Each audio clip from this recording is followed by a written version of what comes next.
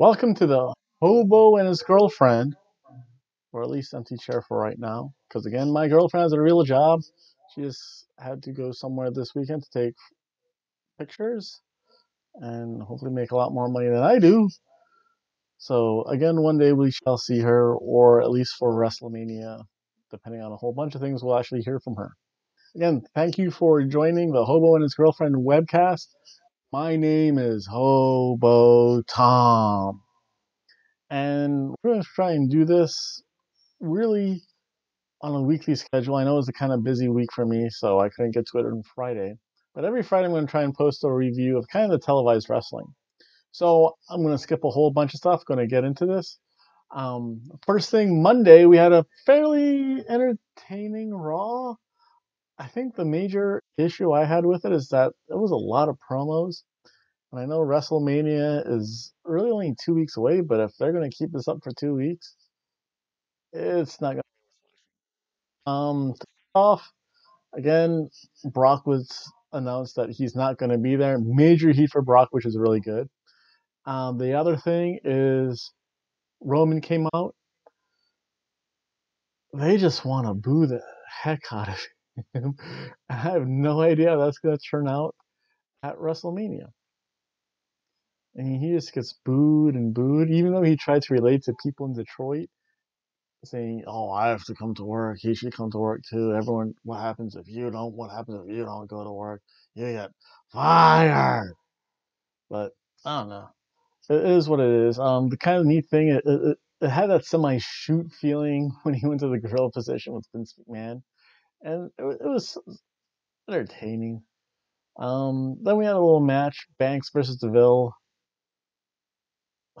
Ever since Sonya Deville beat Princess Kimberly, I, I just find it hard to root for her. Don't get me wrong, she's a great wrestler. But as far as just trying to get behind her, it's like, eh. So we had Banks versus Deville. The best thing about this is that this might tease a Bayley heel turn. And that, if they did it right, could be really interesting. So, so, so on the Bayley character, let's see. Next, we had Miz TV, and Miz TV.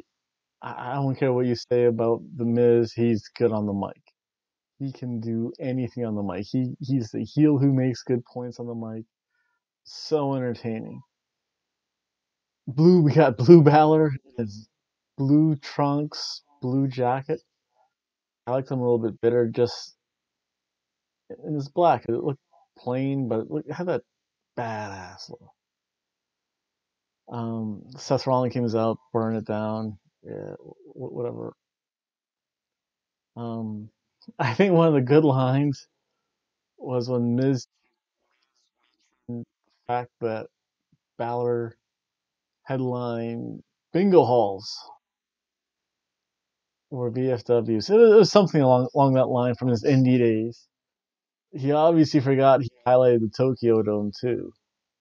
I think he did at least once. Again, please feel free to leave a comment saying, "Hobo Tom, get back out there, get back on, back on the street, get your cans. You don't know what you're talking about." And any comments are always greatly appreciated. And again, this, this was a was a good thing. Um, Miz kind of chased everyone down. It was good. Yeah, just a lot of talking. Then there was there was a bar kerfuffle. I know that led to an event with Braun, which I'll get to in a little bit. But again, maybe this is going to be Authors of Pain call up.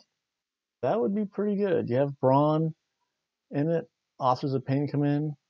Two big guys that makes it really believable I could beat Braun Strowman, especially if both of them team up against him. So, well, we'll see. Then you had John Cena just talk. He says he's going to have his match with The Undertaker. I really don't want to see that. I know John Cena has the healing powers of Wolverine in a wrestler's body, but if you have hip surgery, You're not coming back. I don't even care if you are Wolverine. Again, he calls out the Undertaker. Again, there's just a lot of tapping, a, a, a, lot of this, and not a lot of a lot of this in the match. It's just the TV shows. It just made it feel long. Um, then maybe John Cena he'll fill the host role just like the New Day last year. And also, don't forget for WrestleMania week, I post two videos from last year when I went to the WCBW with my girlfriend, and so Silly gets to see her online, and you'll see some of the highlights of I took from WrestleMania before while my camera died. Again, going on from there, really only the two matches. It felt like it took forever. Um, just really a bunch of pointing to the road, talking about WrestleMania. Then you have Alexa Bliss come out. I with Asuka a promo, it would be really fun, and if WWE could pull it off somehow, that Asuka can have both and just go from one brand to the other brand and just defend this this this, this, unified title. That would make probably the women's division a lot more interesting than than, than having than having the two separate bands. You combine them, and you just have the person go back and forth. And, hey, you don't have the women to do that. Again, just a really long promo. Then they had the locker room interview with Alexis and, and Mickie James, and just felt something from the 90s. Like, locker room cam, really? Again, they just run down Nia, Nia Jax, and I could have sworn that during that you could hear the audience in the background chant Nia is going to kill you. So it, it was kind of interesting. Then you had the tag team battle royal. Again, I think this is only like the third match, maybe the fourth, besides the whole scrum with the with with T bar bar bar bar. But again, and then Braun showed up, one man wrecking crew. The the most impressive thing though was the way he just grabbed Karl Anderson and just tossed him like a sack of potatoes out of the ring, and just like wow. I mean, everyone says Karl Anderson's one of the best wrestlers in the business. When you see him sell to Braun, I mean, you can under you can un, you can definitely understand why. So that was Raw, kind of in a nutshell. Not much. If they're going to keep on doing this to the road to WrestleMania, there's gonna be a bunch of people. Or say, I don't have a road there. I also have a match to get there. And, eh, whatever. It is what it is. SmackDown, however, was a lot better. My God, AJ Styles can do no wrong. I mean, he's so good on the mics. He's so good on the in the ring. AJ came out, Shinsuke came out. The crowd ate it up. Nakamura, AJ Styles, AJ Styles, Nakamura. Those two is gonna be so fun to watch. Again, it's kind of a rematch from their days in New Japan, but hey, we need it. Then that led to a match versus AJ and Rusev, and again, this just this just really proves that AJ can have a good match with anyone. I mean, I didn't rate the matches from Raw because it's just like, yeah, they're talking half the match, like how to use a bathroom, how to make dinner.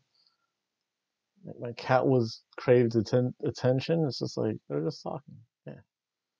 Again, so this again this last lasted went to AJ versus Rusev, and it, it was a great match. It's a great striking match, a great wrestling match.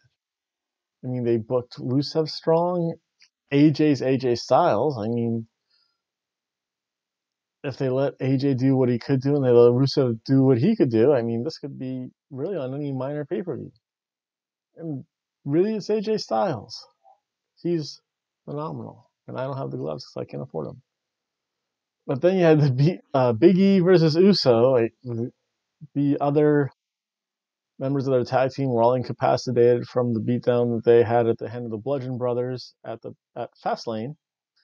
And the first thing I thought of this, I'm like, and again, shows my age, but this is the WWE version of the old Gangstanators. It was New Jack and Perry Saturn. Again, one gangsta and one of the Eliminators versus the Bludgeon Brothers, and Big E, good reaction from the crowd. It was a good semi squash match. I mean, the Bludgeon Brothers, most part, dominated. But then again, you had, had Jimmy or Jey Uso or, or one half of the Usos. Oh, here's a good one. Instead of the Gangstanators, you have New Day ish. That's. Please send me the hope. But I doubt it. Then you had Sami Zayn again, good on the mic. El Generico, ole, ole, ole, ole. What what else can you say about him? He's he's good over good overall. Charlotte came out. This is the woman of 1,000 robes because every time I swear they're different. In fact, a very quick story. When I took my girlfriend to see SmackDown, I looked in the, the car next to me. I'm like, hey, it's really a little car. Like, wait a second, that is Charlotte. Who else would have a sparkly robe in their car and look like Charlotte besides Charlotte Flair? Then I saw AJ and I'm like, hey, that guy looks like AJ Styles car. I'm like, wait, that is AJ Styles, because you realize they're coming out of the performer's parking space. Again, Charlotte Flair, Flair versus Asuka. this should almost be a robe versus robe match. I almost can't wait to see the entrance for these two because it's going to be amazing. Again, great work. Can't complain about it. Orton comes out, getting ready for to be to actually have commentary. Again, mentioning the Grand Slam champion, and again, this is a realistic setup for a good three a good three way match at WrestleMania because it's not talking. It's like okay, well, I beat you, you beat him, he beat me. So so it's, it's really good. It keeps the dynamic good. Uh, Roode versus Mahal. I just think the Singh brothers, even though there's one of them, because I saw the one guy take a really nasty spill and he did something to his near ankle, but it just looked bad. The Singhs are just there to get beat up, I think. and even though they, they do help foil the match in favor of Mahal, I mean, they just get tossed around, thrown into ring posts, through tables. Through, well, they, I don't know if they've been put through a barricade yet. That's probably next, though. And end of the match. Doesn't really matter. RKO is for everyone. Uh, Ke- Kevin Owens did a backstage interview, and this is when Kevin Owens again goes back to being Kevin Steen. Good, just running down. I swear he's like two steps away from putting out a lot of bleep this, bleep that, bleep, bleep everything. Again, things you can get away on pay per view that you can't really say on TV. So that led us to a Naomi versus Carmella match. Again, Carmella's getting better and better all the time. I mean, in NXT, she was like a valet friend zone cast, and now it's like, whoa, this is like second time I I can say it's like, she's she's doing good. Again, she still has the yeah, she she has one of the best voices in the ring though. I don't care what anyone says. She, oh, no, you can't do that. Or what did she tell the ref? I can count to five too. I, I, it's like she means for the whole stadium to hear without the, the, ring being mic'd up, which honestly is great. A lot of the wrestlers do not do that. Um, some wrestlers do it at the wrong time, but Carmella does it just right. And then you have the best Shane O'Mac promo yet. Not really a fan of his promos. Really good promo though. Um, came out, said, "Okay, I'm done. I'm gonna make this last match Kevin Owens, Sami Zayn. Off at WrestleMania. I'm done now. I'm gonna take some time off. Then he gets the snot beaten out of him by Owens and Zayn, and, and that was a really good send off to the show. I mean, they had so much more wrestling in SmackDown, and it was wrestling that was story related. It had a good build up for WrestleMania. It gives me reason to actually care about watching these wrestlers at WrestleMania. So that's good. Now, the third televised TV show is going to be TNA or, or Impact or TNA Impact or whatever it's called. Um, this show can really be hit or miss. Thank God it's like an hour long. Sometimes it's two hours. If it's two hours, it's just like an hour's worth of wrestling, then there's commercials, and then there's stuff to do things. It's again really happy that it's it's a short program. If they made it long like Raw, unbearable. So again, this is a really hit or, hit or miss show. Again, a lot of promos it seems. Um, there were some good matches, and not to go in any order, but probably the best match was, I think, the last one, Taya versus Rosemary. We'll get into that because again, that's really interesting. Um,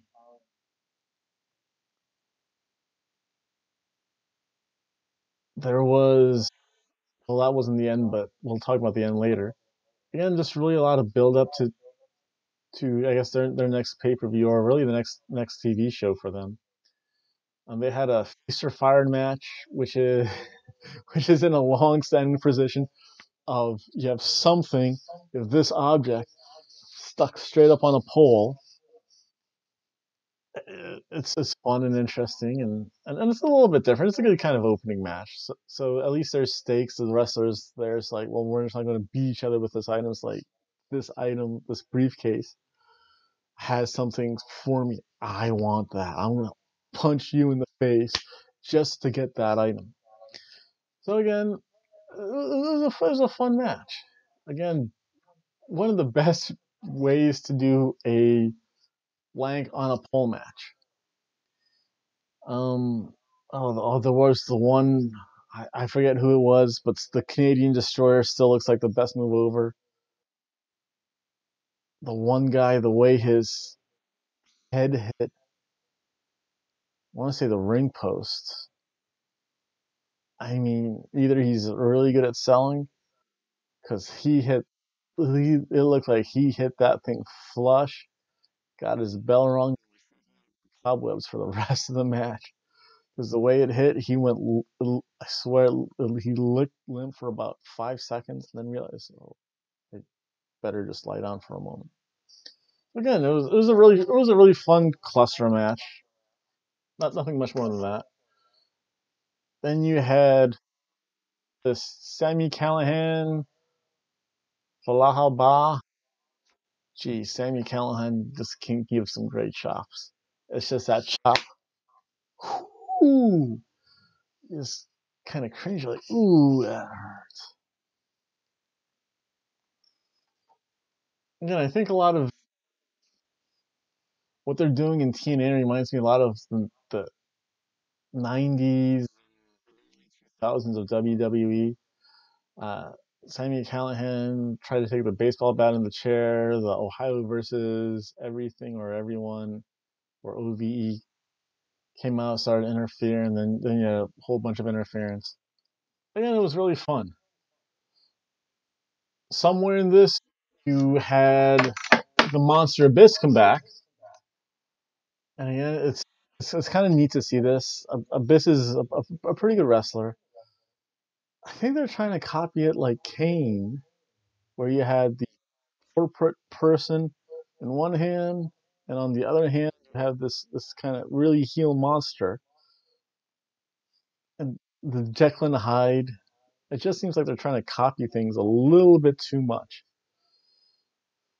Again, it was fun, entertaining, and, and it sets up for the monsters brawl match or, or monsters ball match whatever they call it, where they use thumbtacks, ladders, chairs, tables, barbed wire. all, again all the fun '90s, especially the ni- the '98 ish ECW matches. Again, just just on in the right proportions. So, so some little things of EC little things of ECW went way too far, but some of it again. You have Rob Van Dam matches. You're just like, you can do that. I mean, the Malenko Guerrero Classics and a whole bunch of other really good matches. It did did come through that. Then you had had the Taya versus Rosemary, and again, these two women could actually probably get on w, WWE one day. I mean, I think they teased like the sister Abigail Well, it's just Bray Wyatt was just like a wig on, but Rosemary could. Again, we had a birthday finish here, baby. Means nobody wins. Um, that this led to a double countout, which was really good. And probably one of the more painfully awkward looking things was when Taya kind of knelt on Rosemary's boobies. Um, that just looked awkward and weird, and it looked like it probably could have just been awkward and hurt. But again, it was like, ooh, why'd you kneel there? I kind of get it, and yeah, look, little okay, but it's like, ooh. And then to finish off the show, we had Austin Aries promoting his book. Roberto, probably got that wrong. El Patron came out. Oh wait, just to go back very quickly to, to Taya and Rosemary, I do like the hint back to Lucha Underground where where Taya is Lucha royalty, so that was kind of cool. But then getting back to Austin Aries and El Patron, again, it, it was okay. It kind of sets things up for an El Patron Austin Aries match for the title. Austin Aries, a, a vegetarian, gets kind of handed a steak. El Patron, and he rejects it. There's tension. It's like, I don't need your book, pero I know what to do. But eh, it was, it was kind of good. It was, I mean, entertaining. Wasn't really anything great. It wasn't terrible. Again, TNA can be really hit or miss. What they did with the Hardys was was the best. And in fact, that's really the only reason to watch this Monday Night Raw, because they're going to have two and a half hours of promo. That's garbage. But because they're having whatever tape match at the Hardy compound versus Matt Hardy and Bray Wyatt, the broken one shall delete him and make him obsolete. So yeah, that's really the only reason to watch Monday Night Raw. I mean, they'll probably have some other stuff, but yeah, whatever. I'm gonna see the the final, not the deletion, the conclusion of the Great War or whatever they call it. Again, thank you for viewing my webcast. Please like and subscribe. And also, I've kind of figured out how to put our email address online.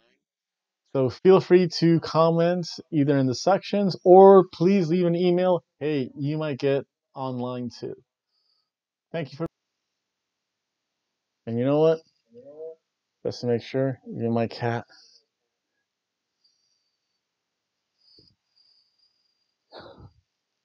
Point to the WrestleMania.